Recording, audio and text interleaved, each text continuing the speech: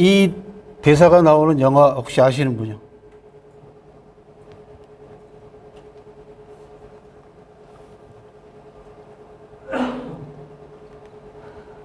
제가 대학생들한테 강의를 했더니 한 여학생이 이걸 맞췄어요. 예. 그래서 책을 한 권 선물로 줬는데 잘 모르시겠어요? 원더우먼에 나오는 대사입니다. 아, 그 아무리 헐리우드의 오락 영화가 됐든 간에 뭐가 됐든 간에 또 미국의 위대한 아메리카를 선전하는 영화가 됐든 간에 뭐가 됐든 간에 받아들이는 저희 입장이나 또는 젊은 사람 입장에서는 그 가운데 뭔가가 캐치가 됩니다. 그 가운데 저는 아, 헐리우드에 이런 영웅들이 나오는 영화들이 가져다 주는 가장 중요한 메시지 가운데 하나는 바로 이런 거죠. 정의의 실현이죠. 그죠? 예. 분명한 선악 구조와 분명한 시비 개념을 가지고 어, 악한 사람이 처벌을 받거나 결국은 악한 자가 실패할 수밖에 없는 그런 이야기들을 그려 스토리를 그려내고 있기 때문에 젊은 친구들한테도 어필을 할 수 있고 우리도 마찬가지가 아닐까라는 그런 생각이 듭니다. 물론 그 안에는 아주 복잡한 장치가 들어있기 때문에 자칫 잘못하면은 어, 숭배주의로 이제 흐르거나 또 사대주의로 흐를 가능성 또 그런 위험성도 배제할 수는 없습니다만은 어쨌든 간에 주제는 선명하다 그런 이야기입니다. 그리고 한국 현대사가 아직도 미완성입니다. 우리 민주주의가 아직까지 완성이 되지 못한 상태라서 역사를 공부하는 제 입장에서는 뭐가 문제일까? 아, 우리 한국 현대사에 있어서 그리고 지금은 또 과연 우리 정치에 있어서 가장 큰 문제는 뭘까? 이런 부분들을 고민할 수밖에 없는 상황입니다. 그리고 사마천 사기에 나와 있는 수많은 메시지와 내용들이 그런 제 고민하고 매치가 된다는 거죠. 그래서 저는 늘그 그런 말씀 드립니다만은 사마천을 공부하기를 나에게 있어서 내 삶에 있어서는 정말 행운이다. 깨 있게 만들어주고 나쁜 길로 빠지지 않게 만들어주고 어, 엉뚱한 곳에 유혹받지 않게 만들어주는 버팀목으로서의 이 위대한 역사가 주는 저한테 선물은 뭐 이런 말로 할 수 없다라는 말씀을 드립니다. 그리고 이런 감동적인 대사, 뭐 앞으로 제가 이제 다른 강의를 하면서 더 많은 장면들을 보여드릴 텐데 이런 감동적인 대사들 못지않게 사마천 사기에는 훨씬 더 깊이 있는 명언 명구들이 다 아로 새겨져 있습니다. 그래서 그런 것들을 오늘날 어떤 방식으로 젊은이들에게 전해줄까를 고민을 많이 하고 있습니다. 아까 보셨던 영상의 위대한 쇼맨의 주제는 뭐냐 그러면 사람들을 기쁘게 해주, 기쁘게 해주지 못하는 것은 예술이 아니다라는 대목이 나옵니다. 어. 감동을 주지 못하는 인문학은 사실 인문학이 아닙니다. 그런 면에 있어서는 울림이 없는 어, 인문학은 그래서 다양한 방식으로 어, 여러 가지를 다 활용을 해서 어, 가능하면 많은 분들에게 쉽게 좀 그리고 울림이 큰 걸로 접근하려고 많은 애를 쓰고 있고 실제로 사마천이라는 역사가도 그 부분에 상당한 신경을 썼습니다. 그래서 제가 뭐라고 표현하냐 그러면 아, 최초로 독자를 염두에 둔 필자였다. 사마천은 그렇습니다. 그리고 그 장면 장면 묘사가 마치 오늘날 카메라로 또는 영상을 찍듯이 아주 생생한 장면들이 많이 나옵니다. 그래서 거기에서 받은 개발들이 그리고 통찰력들이 대단히 큽니다. 그리고 오늘 정의관을 발표하게 된 이유도 또 그런 맥락에서 봐주시면 좋겠습니다. 이게 정의관을 하려다 보니까 기초부터 다시 공부해야 돼요. 정의가 뭔가라고 하는 정의의 단어에 대한 정의부터 해야 되더라고요. 이게 그래서 예, 우리나라 백과사전에는 어떻게 나와 있나 봤더니 사상가에 의하여 입법자나 위정자가 그 사회에서 궁극적으로 실현해야 할 규범 가치로 여기 온 개념이 정의랍니다. 좀 어렵죠, 그죠? 위키백과에는 한자의 뜻은 진리에 맞는 올바른 도리, 영어의 justice는 사회를 살아나가는 데 있어서 모두 지켜야 하도록 강제하는 규범이랍니다.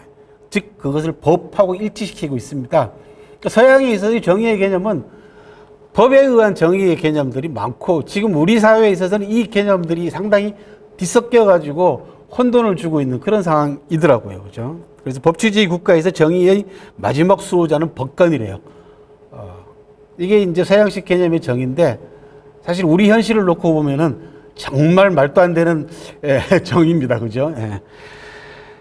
중국 포털에서는 어떻게 개념이 되어 있냐 그러면 윤리학 정치학의 기본 범주고 윤리학에서는 통상 일정한 도덕 표준에 따라 당연히 해야 할 일 또는 도덕적 평가, 즉 공정을 가리킨다라고 하는 또 나름대로의 정의가 있었고요.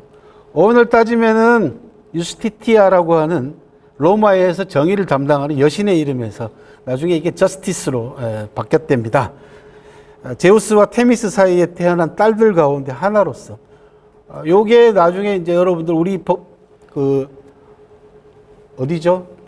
대법원이라든지 이런 쪽에 가면 앞에 서 있는 리케인가요, 그죠? 예, 요거는 이제 그리스 신화의 정의 여신 이름이고 로마 신화는 유스티티아입니다. 예. 그런데 지금까지 한국에서는 이 정의가 그 저스티스 서양의 용어를 일본식으로 번역한 걸로 지금까지 알려져 왔고요. 철학도 마찬가지잖아요. 근데 실제로 중국 문헌을 뒤져보면은 나옵니다. 정의라는 게. 가장 오래된 기록이 순자에 나옵니다. 그 배우지도 않고 정의감도 없으면서 부와 이익만 쫓는 자는 속물이다. 라고 하는 속인이다. 라고 하는 대목에서 정의라고 하는 뜻을 설명하고 있지는 않지만 정의는 정확하게 나옵니다. 그럼 앞뒤 문장을 놓고 보면은 배우지도 않고 정의감도 없으면서 부와 이익만을 쫓는 자. 그렇게 본다 그러면 정의가 어렴풋이 무슨 뜻인가라는 건 잡히죠. 그죠? 예. 공부도 좀 해야 되고, 그죠? 예. 단순하게 부, 부와 이익만 쫓는 자가 아닌 사회적 가치에 있어서의 공공의 이익에 부합하는 사람으로서의 예, 갖춰야 될 자질로 정의가, 정의가 되고 있다는 걸 알 수가 있고요. 요게 이제 아, 유스티티아라고 하는 예, 여신의 모습이고 나중에 이제 모습이 바뀝니다. 원래는 저기 로마 시대 동전을 보시면 알겠지만은 왼쪽에는 오른손에는 저울을 들고 있어요. 여기 이제 공정하게 뭔가를 이제 잰다라는 뜻, 뜻이고 오른쪽에는 곡물이라든지 과일이라든지 풍요로움을 상징하는 물건들을 들고 있는데 여기 나중에 칼로 바뀝니다. 그래서 뭔가를 처벌하는 쪽의 개념으로 여신의 모습이 바뀌었다라고 하는 것도 참고로 알아두시고 원래 이 모습은 이집트 벽화에서도 나옵니다. 여신 벽화에서 어, 죄인을 처벌할 때 이 여신이 들고 있는 저울에다가 죄인의 죄값을 단대요. 달아가지고 어, 요 한쪽에는 뭐가 있냐 그러면 이 여신의 깃털이 있어요. 깃털은 한쪽에 저울 한쪽에 올려놓고 죄값을 오른쪽에다가 올려놓으면은 기울어지면은 처벌을 했답니다. 그죠? 예. 이런 오래 전부터 이집트 신화에서부터 여신이 공정을 다루는 또는 심판을 다루는 그런 주체로서 모습이 그리스 로마 신화에도 반영된 게 아닌가라고 하는 그런 이야기도 있습니다. 사마천 사기에도 정의가 나옵니다. 유협 열전에 보면은 지금의 유협은 그 행위가 반드시 정의에 의거하지는 않지만 이라고 이때는 사회적 통념을 얘기합니다. 사회적 기준이나 국가나 정부가 만들어 놓은 도덕적 기준이나 법률적 조항에 의거하지는 않지만 그들의 말에는 반드시 신용이 있고 행동은 가감하며 이미 승낙한 일은 반드시 성의를 다했다. 또한 자신의 몸을 버리고 남의 고난에 뛰어들 때에는 생사를 돌보지 않았다. 그러면서도 자신의 능력을 자랑하지 않았고 그 공덕을 내세우는 것을 오히려 수치로 삼았다. 이 밖에도 칭찬할 게 많다라고 하는 말로 했잖아. 보면은 정의에 의거하지 않았다고 얘기했지만 사실 내용 전체는 이런 사람이 정의로운 사람이죠. 그죠? 예, 그런 사마천 나름대로 약간의 반위법 같은 것이 이 안에 이제 돼 있고요. 그 다음에 태사공 자서에서 열전 70편을 짓는 동기로 사마천이 정의롭게 행동하고 라고 하는 대목이 있습니다. 이 정자는 빠져 있습니다만은 부의 숙당이라고 하는 요 대목에서 부의라는 말은 정의에 의거하고 라는 뜻입니다. 그래서 정의롭게 행동하고 라고 하는 대목이 보입니다. 동서양에서 정의에 대한 개념과 받아들이는 인식의 차이점을 보면 서양은 사법, 사법적 판결의 의미가 굉장히 강합니다. 아, 좀 전에 설명했다시피. 근데 동양은 의리나 도리를 의미하는 의의 방점을 찍고 있다라는 거죠. 그럼 분명히 여러분들도 느끼시잖아요. 그죠? 우리가 얘기할 때 정의감 하면은 사법적 판단이 아니고 의리가 있어야 되고, 어, 그것 따뜻해야 되고 뭐 이런 거잖아. 그죠? 그래서 분명히 일반인들이 받아들이는 정의에 대한 인식은 동서양의 차이가 많더라라는 겁니다. 시민들의 정의관의 형성과 우리나라의 민주주의를 놓고 보면 이제 이런 방식으로 동서양이 이렇게 잘 아시다시피 영국의 권리장전, 마그나 카르타, 프랑스 대혁명, 미국 독립혁명 등 시민혁명을 통해 가지고 정의롭지 못한 정부나 국가는 시민의 힘으로 무너뜨릴 수 있다라고 하는 혁명의 정당성 같은 것이 이미 형성이 돼 있습니다. 실제로. 우리도 그걸 이미 경험을 했지 않습니까? 아까 우리 한정수 작가님이 계속해서 말씀드렸던 요지 가운데 하나도 그겁니다. 우리도 3.1 혁명을 시작으로 해가지고 독재 정권과 외세에 저항하는 정의로운 저항과 혁명의 차, 자랑스러운 역사를 가지고 있는 나라입니다. 그럼에도 불구하고 우리 내부에 존재하는 정의에 대한 혼란스러운 부분들이 있습니다. 그게 아까 말씀드린 사법적 정의와 일반 국민들이 가지고 있는 정의에 대한 개념, 괴리감이죠. 이런 괴리감에서 오는 여러 가지 문제점들이 한국 사회에 있어서 민주주의가 아직까지 완성 단계에 있지 않다라고 하는 점을 오히려 증명하는 게 아닌가라는 그런 생각이 들고 있고요. 지금까지 많은 학자들이 정의에 대해서 정의를 내려왔습니다. 가장 대표적인 것이 이제 공리주의 관점에서는 최대 다수의 최대 행복 이게 정의다라고 하는 거고 두 번째는 자유주의 관점에서는 개인의 자유하고 자유의 의지를 유별나게 강조하는 관점 이게 정의다라고 하는 관점이 있고 그 다음에 이제 이 정의 때문에 유명해진 사람이 이제 마이클 샌들이죠. 그죠? 잘 아시다시피. 마이클 샌들의 정의란 무엇인가라고 하는 책은 우리나라에 지금까지 한 130만 부 정도가 팔렸습니다. 근데 미국에서는 얼마나 팔렸게요?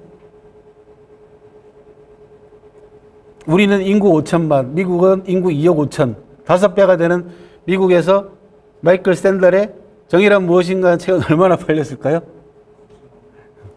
10만 부 정도밖에 안 팔렸습니다. 그런데 우리나라에서 130만 부가 팔렸어요. 그 이유에 대해서 분석하는 여러 사람들이 많았는데 그 가운데 에, 뭐 그럴듯한 분석 가운데 하나는 마이클 샌델이 학생과 주고받는 대화의 강의 방식이 신선하게 작용을 해서 학부모들이 사줬다. 이게 가장 그럴듯한 소리입니다. 그리고 그 뒤 behind story는 그런데 안 읽었다. 그러니까 우리나라 그 베스트셀러, 밀리언셀러 가운데 처박아 놓고 안 읽는 대표적인 세 종류의 책이 있습니다. 하나가 뭐냐 그러면 이문열의 삼국지. 두 번째가 유원복의 먼 나라 이웃 나라. 세 번째가 정의란 무엇인가. 여기 이게 세, 세 개가 모두 다 공통점이 있습니다. 뭐냐 그러면 엄마가 사준 책들이다. 안 사면 안 될 것 같은 책들이다. 그런 얘기죠. 재밌게도. 농담이었고요. 예. 그리고 이구동성으로 학자들이 주장하는 건 뭐냐 그러면 서로 다른 사회 또는 계급 차이에 따라 가지고 정의에 대해서 다 각자 다른 해석을 내릴 수도 있다라는 거죠. 그래서 그러면 사마천 사기에서도 충분히 정의관을 뽑아낼 수 있지 않을까라고 하는 생각에서 이번 주제를 골라본 겁니다. 자, 관점의 차이하고 철학, 개인적 차원에 따라서 정의관의 의미가 달라집니다. 정치, 철학, 사회적 관점에 따라 차이가 나죠. 개인적 차원의 정의관이 갖는 의미, 그러니까 여러분들이 갖고, 각자 갖고 있는 개인적 의미의 정의관하고 사람들마다 다 차이가 나죠. 그 시대와 인간의 역사에 대한 인식의 넓이와 깊이 정도에 따라서 당연히 차이가 납니다. 그런데 사마천처럼 3천년이라고 하는 역사를 통찰한 역사의 안목의 개인적 관점의 정의관은 인류의 보편적 가치로서의 정의관으로 승화될 수 있는 충분한 예, 값어치를 가지고 있다라는 것이 이제 예, 제 생각이기도 하고 다른 전문가들의 생각이기도 합니다. 그리고 아까 말씀드린 대로 우리 사회에 있어서 법적 의미의 즉 법관에 의한 정의 실현에 대한 심각한 문제가 발생했다. 우리나라에서는 지금 현재 잘 아시다시피. 그러니까 단순하게 사법부가 몇 년을 때리는 것이 문제가 아니고 검찰에 의해 가지고 예, 사, 기소를 하고 그 다음에 판결 내리기까지 모든 과정에 이, 이 지금까지는 정의의 실현이라고 얘기를 해왔는데 여기에 심각한 하자가 지금 대한민국에서 발생을 했지 않습니까? 그죠? 그래서 이 문제를 앞으로 어떻게 해결할 것인가라는 부분들이 이제 한국 사회 큰 화두 가운데 하나다. 민주주의의 진정한 의미를 성찰할 때가 됐다. 그리고 민주주의의 완성을 위해서는 앞으로 우리 사회는 우리 시민들은 어떤 작용을 하고 어떤 역할을 해야 될 것인가라고 하는 또 하나의 과제가 이제 주어진 그런 상태가 되겠습니다. 사마천의 정의관을 저, 알아보기 위해서는 사마천이 의와 리에 대해서 어떻게 봤는가 의리관입니다. 이 리자는 잘 보시면 알겠지만 이치리자가 아니라 이익이자잖아요. 그죠? 예, 요겁니다. 그러니까 대개 지금까지는 의와 리가 상반되는 걸로 되게 봐왔어요. 사마천 이전까지는. 그러니까 애하고 의로운 가치관이나 윤리관을 내세운 사람은 이익을 밝히면 안 되는 거였어요. 두 개가 상치되는 개념, 배치되는 개념으로 지금까지 봐왔는데 사마천 때 들어오면 이게 바뀝니다. 그래서 민주 평등 사상이 이 사마천의 의리 간에 그러니까 의와 리가 둘이 아니다라는 겁니다. 그래서 부와 물질을 추구하는 물질적 이익의 추구는 모든 사람들의 공통된 본성이다. 그래서 의와 리가 둘이 아니다. 이 두 가지가 같이 가져야만이 평등도 실현될 수 있고 인간의 존엄성도 확보가 될 수 있다. 즉 그것이 뭐냐 그러면 생활이 기본 생활이 제대로 이루어져야만 인간이 존엄해질 수 있듯이 최소한의 그래서 의와 리가 둘이 아니다. 이거는 지금까지 시민혁명을 통해 가지고 민주국가를 세운 서양도 마찬가지, 우리도 마찬가지입니다. 이 두 가지가 궁극적으로 혁명을 통해 가지고 정권을 새로 세우고 어, 부패한 정권을 없는 가장 중요한 이유는 모든 시민들이 공평하게 그죠 어, 권리와 이익과 부를 누릴 수 있는 기반을 갖추기 위한 행동이지 않습니까? 그렇게 본다 그러면 사마천의 의리관 자체는 어, 민주시민혁명에서 얘기하고 있는 정의관하고도 하나도 다를 바가 없다라는 겁니다. 그런 얘기합니다. 힘없는 정의는 무력하고 힘만 있는 정의는 폭력이다. 그런 얘기를 많이 합니다. 그래서 앞으로의 이 시민사회에 있어서의 정의관 실현의 문제, 실천의 문제는 사실은 물질적으로 어떤 방식으로 뒷받침해 줄 수 있을 것인가 이 부분이 제대로 되지 않으면은 늘 표면적으로 그죠 명분만 내세우는 그러다 보면 결국은 굶어 죽는 꼴이 나는 이런 일들이 반복되어 왔고 한국 민주주의 운동에 있어서의 이런 부분들은 좀 한번 다시 생각해 볼 필요가 있다. 단순하게 이념과 이데올로기만 집착할 것이 아니라 실질적으로 그 이념과 정의를 실현하기 위한 물질적 기반을 어떻게 확보할 것인가라는 그런 과제도 중요한 과제 가운데 하나다라는 생각을 해봤습니다. 사마천의 의리관에서 생각을 해봤고요. 사회관으로서 사마천은 공평한 법 집행을 강조합니다.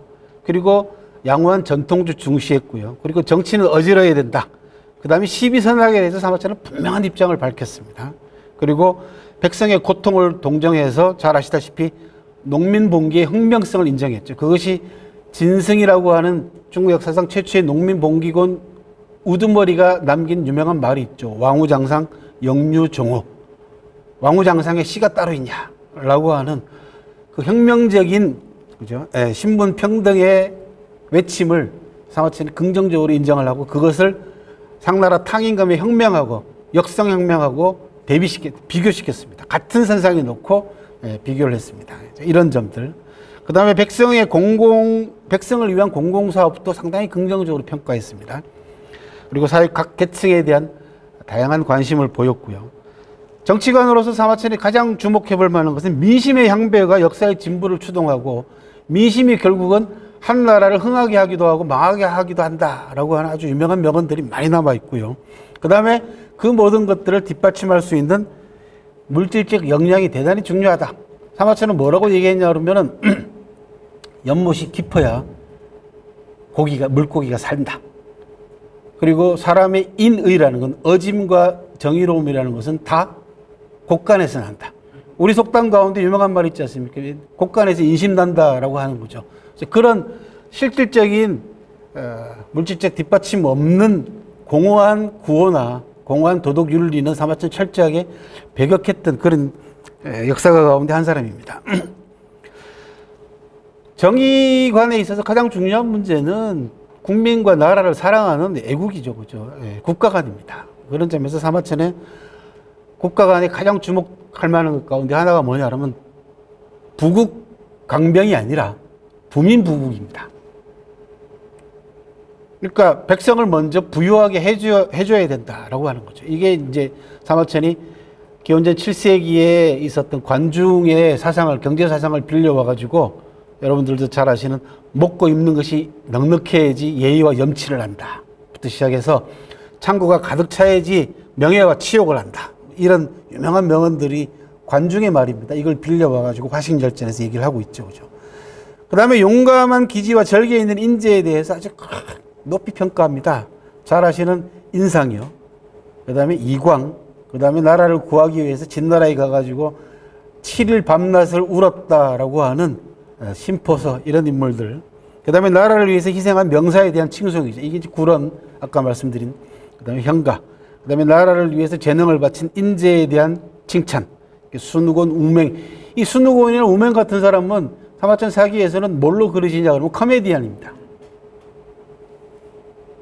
공중 연예인입니다. 이런 사람들이 권력자에게 직접 직간, 그러니까 돌려서 이제 예, 비유적으로 충고함으로써 권력자의 잘못된 행실이나 언행을 바로잡는 이런 인물들도 보이고요. 그다음에 아까 말씀드린 봉건 통치에 저항한 농민 영웅을 칭찬했고 국가 부흥을 힘쓴 군주들에 대한 칭, 칭송도 있었고요. 반대로 폭군에 대해서는 신랄한 비판을 가했죠. 그죠? 그 다음에 추악한 홍리들의 행적을 통해 가지고 이 홍리들을 아주 사정없이 공격했던 그런 어, 국가관을 보여주고 있습니다.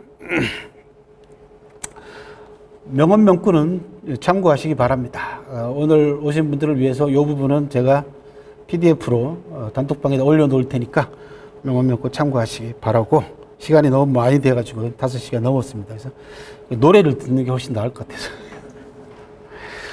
오늘 여러분들 어, 사마천학교 달마토 그 다음에 우리 큰바위 사회 적 협동조합 출범식에 많이 참석해주고 축하해 주셔서 대단히 감사하고 공식적인 행사하는 이걸로 마치도록 하겠습니다. 수고 많이 하셨습니다, 여러분들.